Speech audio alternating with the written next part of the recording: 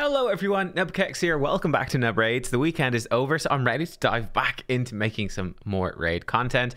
And I actually saw a lot of content creators, a lot of folks in the community have been busy working on the Sand Devils Necropolis since then. Well, in today's video, I want to show you three of the teams uh, that I have built based off of uh, what other people have shown uh, that I've really liked and that I think have a ton, a ton, a ton of potential. And obviously, we're going to be giving credit and shoutouts as we go for where I initially saw these teams. So, the first team I want to show you, and by the way, if you're wondering how we have all these stages unlocked, there was a bug with Nogdar where he could basically one shot the boss. It's been fixed. You can't do it anymore. So that's how I did unlock all the stages. Um, we're going into stage 24. Now, this team was actually created, I believe, by Tyraku. It's the first place I saw it. I'm pretty sure he is the brain behind this team. Very, very cool team. We're going to dive in. Uh, what I like about this, I actually have very different builds from Tyraku here. And what I like about this team, it works on stage 24. Uh, it actually, it doesn't work on every single stage. It's probably going to work from, I don't know, probably about maybe stage 17 maybe stage 18 or 19. It's going to work all the way up. It's going to be really bad on the force affinity stages, but you'll get through with some randomness eventually. Uh, and then it, it sort of caps out at 24.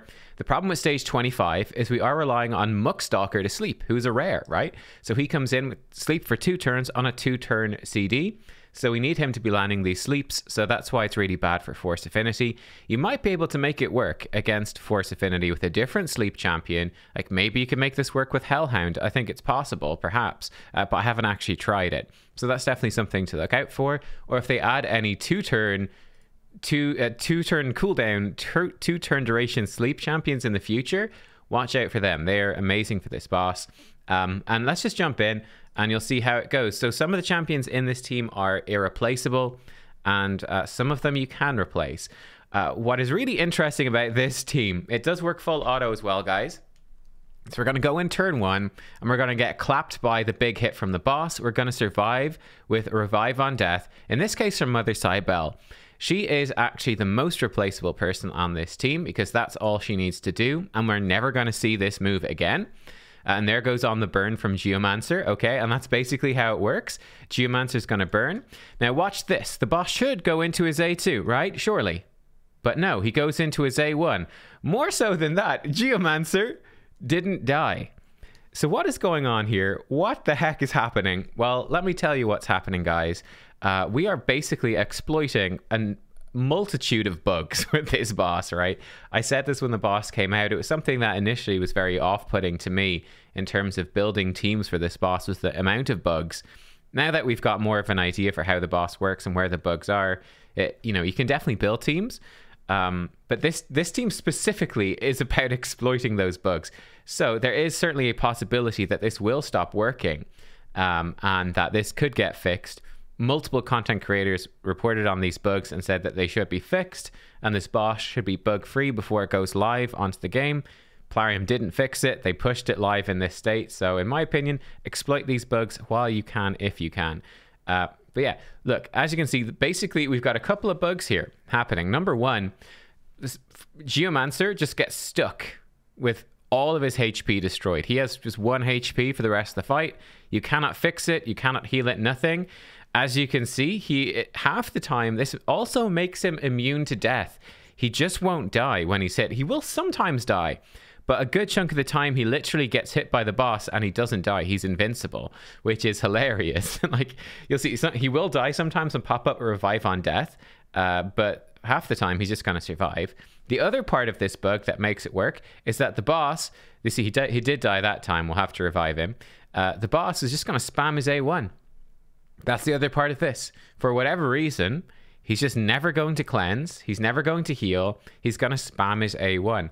Now, even if they fix these bugs, I think this team will still work. As you can see, it is very, very stable. It will just slow it down a lot because that cleanse is going to really reduce Geomancer's damage, obviously enough. Uh, but that's uh, essentially how it works, right? We just keep sleeping the boss, which pushes this move back. He just spams his A1. Because of Elva, we don't get these debuffs. Excuse me. Uh, and Geomancer puts the burn on, and the burn and the reflect damage and the Geomancer max HP passive damage as well. All that stuff is just going to eventually, slowly, kill the boss. He will die. Um, Brimstone doesn't actually help this. We do have Brimstone on some of these champions. It doesn't actually help because he never uses an active ability, hilariously. Uh, hey, it is what it is. Uh, and again, the thing I also really like about this is that I have not changed my builds. That is one of the biggest things, guys. I've not changed my builds. Mother Cybele. I did change, actually, I lied. I changed her build slightly, but it's still effectively the same. She is in a Hydra build. I just made it slightly better because she needs to be fast enough to go before the boss so she can put Revive on Death. Uh, you could bring in other Revive on Death champions, by the way. It, I don't think it really matters because she only needs to do it the once and then she's just there for fun. You could use Elva Speed Aura instead. But she's in Hydra build. Elva is in my Arena slash Hydra build. Godseeker is in my Iron Twins slash Hydra build. And Geomancer is in Iron Twins build. Right? Muckstalker was built specifically for this dungeon, but the rest of these champions work absolutely fine with their typical sort of end game builds, right? That you would be using on them anyway for the rest of these dungeons. So that is what makes this so good. You don't really need to change anyone. Like I said, the only change I actually had to make was to put um yeah, was to make her slightly faster. You'll also notice here that we do have War Master on a lot of the we've got War Master on both uh, uh Mother Cybele and Godseeker. Uh, which is bad, right? That's making it less consistent because when they attack, they can knock two pips off of the sleep timer. We might, yeah, like right there, War Master procs knocks two pips off. That is bad because it makes the Geomancer burn less consistent. So that slows the run down slightly. But again, that is something I see as an advantage. The run is still reasonably quick, but you still get to take the advantage of having War Master in those other pieces of content, especially for Mother Cybele. She really does want War Master. You can see it's really not good here, but hey, it does the job. And there you go. Four minutes. It can be faster. If you didn't have War Master, it would be faster. Um, but yeah, it's pretty cheeky, right? A cheeky way to do it. Uh, in terms of the setup for what we have going on with this team, right? What we have Mother Cybele uh, for stage 24, which we're on. Uh, 246 speed is actually bonus. You basically factor in in her speed aura, uh, and you just need her to end up faster than the boss so that she comes in, puts out revive on death. I have her just keep on doing it as well because, well, you might as well, effectively, right? The less hits that she does, the better. It's going to wake up the boss less. So it's very, very simple. You can use her. And I do think that she is replaceable with other Revive on Death champions. If you use Elva Speed Aura, you're just going to have to make your champions a bit faster. Elva, she is in my Arena slash Hydra build. It's about 250 speed. This resistance is totally unnecessary, for example. So you could have her with probably worse defensive stats. She's in no danger of dying. And you could have her. I, I would try to get her around this speed. You want her to be reasonably quick. And she is in there for this move to just keep pumping that out and pump out some healing. Geomancer, I have him actually fast. Again, he doesn't need to be insanely fast, but somewhere around 250 or so is what I would aim for. And you want him to be approximately 500 accuracy. I'm a little bit low on the accuracy, but his masteries are pushing him over. I think 505 specifically is what you want for stage 24. And he just does the burn, which does all the damage. Godseeker for me is 258. And again, You're really flexible here. This is my Godseeker I use on stage 15 Iron Twins and for Hydra. She comes in. I've used her Nightmare Hydra. She comes in. She does this fight as well. Just incredible. And then Muckstalker. The key with Muckstalker is to have his accuracy high. I have him over 505 accuracy because I don't have any masteries on him. I've none, and you just leave him to do his stuff by default. He, for whatever reason, has a super smart AI where he won't waste his sleep if the target's already asleep. It's incredible. I think he was in the game when they first released it, and they, they released champions who can't use their moves properly. And this guy is like super smart. It's really cool. So there you go. That is the setup. Um, and yeah, again, the key is to have your champions be a good speed. Like the boss is about what I think he's two six five speed, so the boss is very very quick. You don't want to be falling behind him too much. You want to be keeping close to that. But you just main thing is to have your uh, revive on death person be the fastest. So that's the team. I think it's difficult to replace lots of champions. Like Geomancer is key because of his bugs. Uh, I guess you could probably replace Godseeker. She's just in there for healing and keeping uh, Nature's Path consistent. Nature's Path is good. You could probably bring in like uh, you could probably bring in what's her name, um, Skytouch Shaman or other Revive on Death champions would probably work. Um, you just need to make sure that they're not gonna. I don't think they'll heal Geomancer. I think it's bugged, but it's just something to be aware of. So that is team one, and I think it's a pretty, it's a pretty nice team. This is the team, my favorite one of these, and it's the one I'm actually using. All right, then for team two, there's a lot to say about this team as well. We are going back down the stages for this one, but check this out two champions, stage 15, and go. Um, this team was uh, invented by, uh, there we go, blog, the Raid Shadow Legends blog by Cosmos. This is where I first saw it. And there's lots of different things you can do, right? We're not bringing in sleep right? You can use Royal Guard, you can use Ninja, you can use Turvold, basically anyone who's going to do good boss damage, and then you're going to bring them in with a healer reviver to keep them alive. And the concept, uh, uh, this was the one I don't feel too bad myself personally about not understanding, not coming up with a Geomancer strat myself because it's so buggy. This one, I'm like, ah, oh, I should have thought of that. I should have thought of that. But the way this one works, as you can see, part of sort of the, the key here is that with a sleep counter, okay? Right, with this sleep counter, um, by bringing in fewer champions, it just gives your actual really good damage dealer time to just beat on the boss and actually get some good damage across. Then we just need one champion in there to carry them through and to keep them alive. In this case, Elva is perfect because she protects from all these debuffs. She brings a revive if Ninja dies. She puts out good healing. The increased speed is nice. And it's really that simple. You can see my, my ninja is built somewhat tanky. He's actually surviving. I actually do have him in lifesteal set as well. So you can see that they're actually healing themselves up to full, like no problem. So this decreased max HP never becomes an issue. Uh, we do have Brimstone, I think on both champions as well, which here it didn't actually do anything, but it can potentially speed the run up this time, right? The boss will sleep himself with a big hit. You can get Brimstone on, and it's going to like trigger on his uh, cleanse move. Uh, so yeah, the key to this, we've got no sleep. We just don't care. Like this brimstone's going to do a good bit of damage. We just don't care. Uh, the key is that your reviver needs to be tanky enough to survive this big nuke. That is the key, right? It ignores 100% uh, defense. So you just want lots and lots of HP on your reviver. You need a good amount of healing. And I think the fun thing about this as well is that you can totally um, you can switch it up, right? It can be almost any damage dealer. Like if you want to, I mentioned a couple already. I think Royal Guard is pretty budget. You could probably bring in Armiger, really budget. Uh, you could bring in Whisper. I think another good budget option. I think Scyl of the Drakes as your damage could work.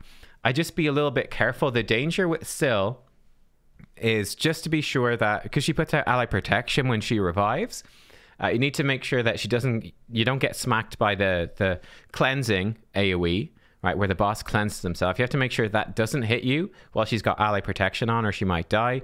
You might need to bring in Scyl and another revi- uh, another healer, right?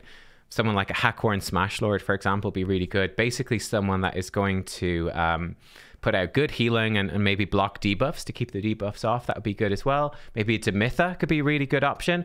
So the stats I have here, Elva, 62k HP, 3.5k defense. The defense is not as important, but the HP definitely is. And again, good speed at 250, and that's about it. The rest of the stuff doesn't matter. And then Ninja comes in. He's at decent speed as well, 234. He's got some accuracy. Uh, and uh, yeah, he is in a lifesteal set, which is going to keep him alive. Um, Elva is in stone skin, but that, that doesn't actually matter um, because you're going to be hit by the boss's massive attack constantly throughout the fight. It's the only way to really do damage when he goes asleep. And then Ninja can place his burns, you can place Brimstone. That is when it really takes off. Uh, so you need you need your champ to be tanky enough to survive that, right? Um, but yeah, look, there you go. That is uh, this one, and uh, I think this is a great one, right? Because you can farm basically, I think up to stage 15 pretty easily. I think after stage 15, the boss AoE, the big AoE, starts to really hit hard. So I think it becomes a lot more difficult.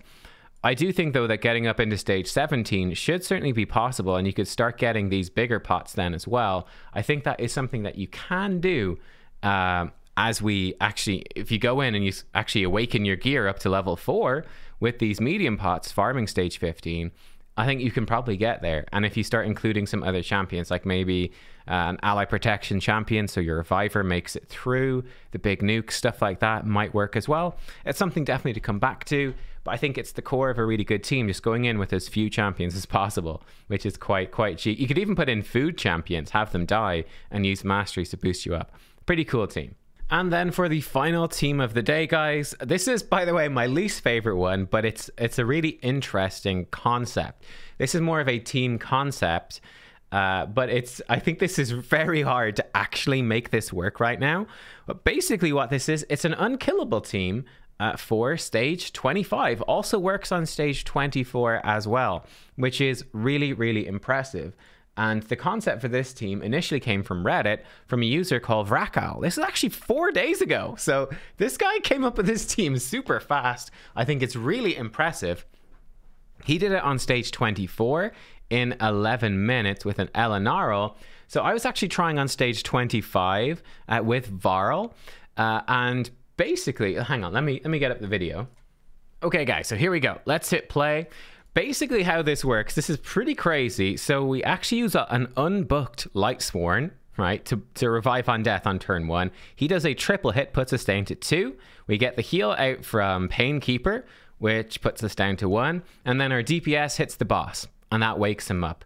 And then we come through, and because we've got two Man Eaters and Painkeeper, uh, we basically keep block debuffs up all the time. We keep unkillable up all the time. So we simply cannot die. And because we have a five turn cooldown on an unbooked Lightsworn, it is all speed tuned in so that when the boss comes back to his big nuke, Revive on Death will be back on in time, which is just crazy. So here we go. Again, we're unkillable. He can't hurt us. Next time he attacks, he's going to do the, uh, the, the massive nuke and there we go. Revive on Death is back on, so it works. Uh, so this is very fun. Let's just watch it one more time through so you can see the rotation here. You can see the problem is actually doing damage is the problem. But here we go. Again, Revive on Death saves us. We get the triple hit from him.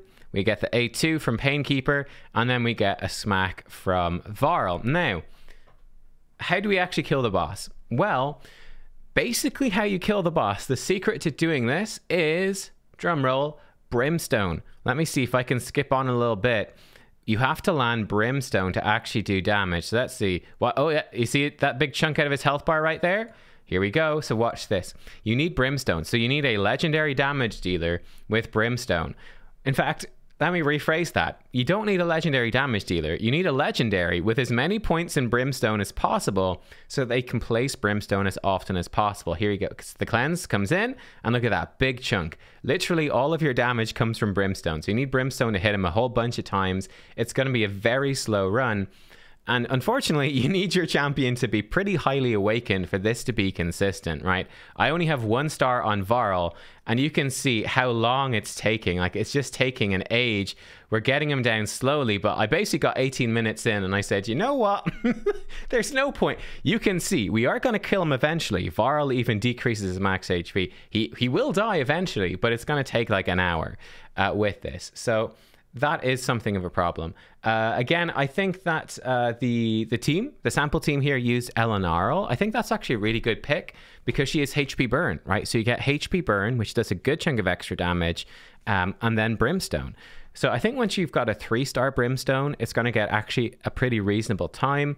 Um, and yeah, you can possibly use other stuff. I actually saw, for example, that I think Ash uh, has a video where he used a SkyTouch Shaman, but she needs to be partially booked. I just don't have that on the test server, so I couldn't actually test it out. But possibly SkyTouch Shaman could work as your reviver, partially booked. Um, in immunity set, it's going to be pretty intensive to get her fast enough, but that could work. Um, and then I think he used Nethril actually as a, like a poisoner, which again you can get away with because you're going to not get the triple hit from SkyTouch. She's only going to do a single hit, so a champion like Nethril can come in and actually be okay putting out poisons. I think he had a three star Awaken Nethril or something like that. But I think that is the key. You need a legendary that has I would say at least three stars awakening with Brimstone. And then in terms of the team setup, guys, in terms of the setup, and I've been trying other stuff here too. So Painkeeper, the speeds for this are very particular. Let me actually point this out as this was an issue I had. I thought this post was great, but it did leave a few things out, unfortunately. So the idea here is that so he says it is a proof of concept team, which is exactly the point. It takes forever. Uh, higher level brimstone. So it works on 24 and 25 uh, with the same speeds. So this is where it wasn't quite right. Speeds are regular bat eater. Now that's actually not true, right? So um, there's actually quite a wide range of speeds with regular bat eater. I actually do use a regular bat eater. Well, I actually don't use quite the regular Bat Eater. I use the Jintoro version. Um, I lowered my speeds to actually fit in regular Bat Eater, and this team didn't work. So I had to lower them even more. So that's something to watch out for. The idea that you could use your Bat Eater and this will work is not quite true. So specifically the speeds that you need, uh, Painkeeper, I believe can be between 240 and 244.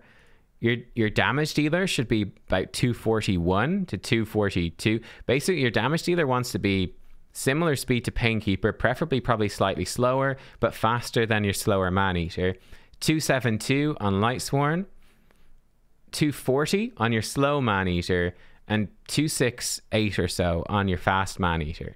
Um, this might change as well. You might want him slightly slower against stage 24 or against stage 24. Have him open with Pummel because he's actually going to outspeed stage 24. So for stage 24, have him open with Pummel. I think, and it would still work just fine. You basically need to put this, this guy needs to put out Unkillable uh, first turn after you wake up from Revive on Death. Then Maneater 2 will open with his A1 and then heal Unkillable right after that. And that is how it works. Um, but these speeds are quite specific. Uh, if you have them faster and stuff, it's not going to work. Now, the other issue with this comp, the main problem I have is this idea that is he's not it's not deceptive in a sense well it's, it's a bit deceptive not from the op here but just in terms of what you, you might be hoping with this is going hey cool i can just reuse my bat eater team now that is not true guys it's not true bear with me one sec Okay, and we're back. we're back. We're back. Problem is, I have to be really careful with the test server because there's some new stuff under embargo that I cannot show. Um, but basically, the problem here, guys, is masteries. Okay, so for the masteries, normally with a Bat Eater, you want to be running War Master. Of course, you do. War Master gives you a ton of damage. You cannot run War Master on any of these champions. It counts as an extra hit, and it's going to wake the boss up too quickly. If the boss wakes up too quickly, quickly, guess what?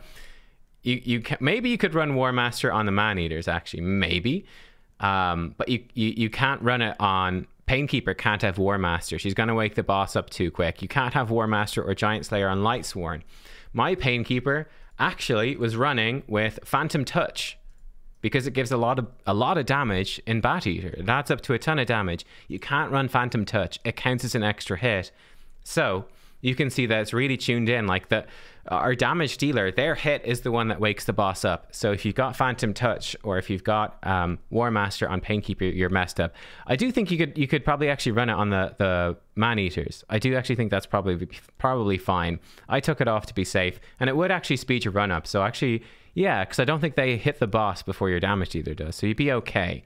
Um, and you could possibly run War Master on your damage dealer too you'd have to check it and see how it interacts with uh, with brimstone, etc. I think you might be okay, but that's just something to be aware of. So that will slow it down. So really, uh, like Phantom Touch can be a big issue. War Master can be a big issue. That stuff will slow you down. I need to be very specific with the speeds as well. Um, I have instincts set on Varl. Look, uh, uh, you could probably get see from the video I showed you that the damage, the actual damage Varl was doing was basically entirely negligible. Uh, you you simply want someone with either you want someone with single hits, they just do a single hit, and you want them to either place poison or you want them to place HP burn. Basically, is what you want. That's it. And then you want them to have brimstone, and that's where your damage comes from. So yeah, it's pretty cool, right? An unkillable team with brimstone. Um, yeah, I think it's a, it's a really interesting, like the OP said there, proof of concept.